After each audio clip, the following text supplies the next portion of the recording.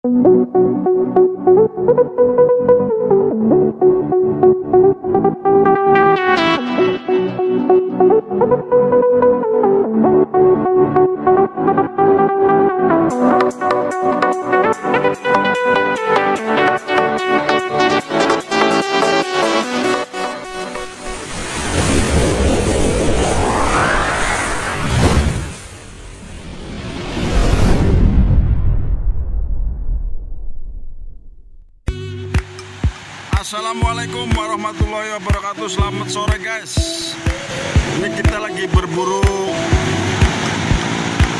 Kerang guys. Nih di sini kerang banyak banget ini guys